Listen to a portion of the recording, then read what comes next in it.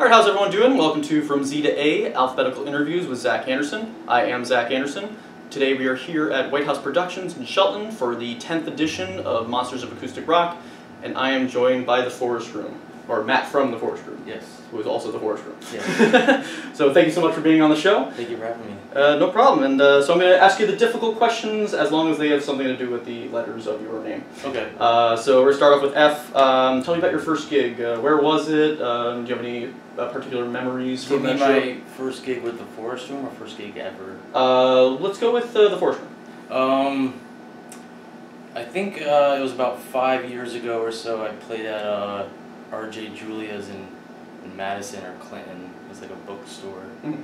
coffee shop, and my music was a bit more tame then. I kind of I sat down, um, and I didn't, wasn't as much into the looping then. But uh, I think I responded to a Craigslist ad. They were looking for acoustic artists, Right. and that was the first time. Nice. Um, now tell me, how do you uh, go about choosing a set list order? Do you uh, do you meticulously pick over what songs to play, or does it? Uh, do you end up tend to like just uh, wing it, uh, decide on stage? Uh. I do have a particular order or method. Um, since I do looping and I have my drum loops and drum beats on a looper pedal, they're numbered in banks. So um, I have to have like a, a diagram of my banks and my tunings and songs in front Right, of right. pretty big and obvious. So um, generally, everything's in, already in an order, and then I kind of go up and down and choose what I want to play. But um, I usually try to keep um, I guess sets I don't know could range anywhere between like thirty to forty minutes. Um, I could play a lot longer if I wanted to, but uh, I generally like to keep like kind of energetic in the beginning and then kind of chill out in the middle and then end energetic again. So Nice. Uh, do you have any uh, pre-show rituals, things you need to do to get ready before a show? uh, sort of yeah. I do stretch a lot. I stretch my my hands and my forearms. Um, I drink a lot of water. Uh, I do these like breathing exercises and I do get kind of nervous, even though in other brands I don't get nervous. Huh. But yeah. Um, tell me, uh, give me an example of uh, an embarrassing moment you've had on stage. Um, two really stand out. Um, breaking a string on stage is Right. fun. That that sucks. Um, I learned a lesson that you have to have a backup guitar with you, even even if it's in your car, bring it with you, or even if you have it at home. There was a time where I only had one guitar, Mm. and uh, and that was like difficult when I broke a string. I had to change the string on stage, and it was kind of I'm pretty quick, I'm very quick with that. Um, but it took a while. And then another time was um, since I'm doing the looping on the drum beats, there was a time where my, my looper pedal was just being weird. It would just cut out and do a loud, high pitched squealing noise like mid song, and it just was a real bummer. And uh, it, it creates an anxiety with you. You know, I was like, oh, is this Right. gonna happen again? And that's what happened. Um, so, but you gotta, you know, being professional, you gotta act like it didn't happen. Stop it quick, move on to the Mhm. next thing. Right. And then um, what I ended up doing was I took my pedal apart and I replaced switches and replaced the power supply and a memory card, and then it's been fine since. But that was like a year or two ago when that was happening, Yeah. and I was almost anxious to or hesitant to book shows because like if this happens more, it's gonna be more. Right, right. it happened a handful of times, but it's cool Oh, now. Excellent, good. Uh, uh, tell me about your songwriting process. Uh, do you uh, start with a riff or a beat, or uh, how do you go about it? Um, usually, um, all my beats are kind of made, and drum loops are made kind of differently. Um, some I made with Reason, Propellerhead, Propellerhead Reason. Um, some I you get from a free looping site. Um, some I bought a drum pack for you know plugins and stuff like that and produce stuff. Um, I have a beat that I sampled from a Kids in the Hall skit. Awesome. So like I just grabbed it from the episode, um, and I, I edited of course to get la- you know background Right, sounds right. out.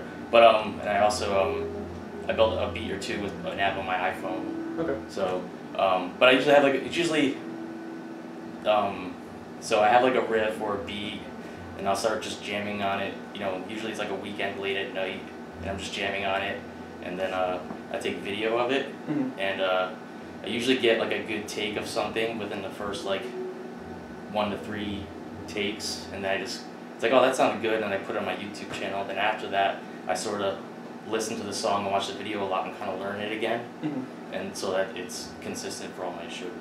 So, um, but yeah, like uh, it's kind of just jamming out and uh, I'm constructing layers and breaking them down differently, and each song is kind of built a little differently, but it's usually just a like a, a late at night thing uh, Right. again when I have free time.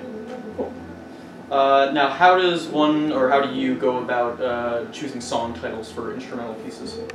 Usually, they just have something weird to do that was going on at the time when I wrote it. Um, I was actually discussing this with a friend today. Like, uh, I have a song called Rumsfield. I watched The Burbs and was laughing about The Burbs all weekend. So like, I called that song Rumsfield because that's a character in the movie. Um, I have a song that's called A Gentle Breeze, and I go hiking a lot. Um, I'm pretty like, I exercise a lot and go hiking a lot.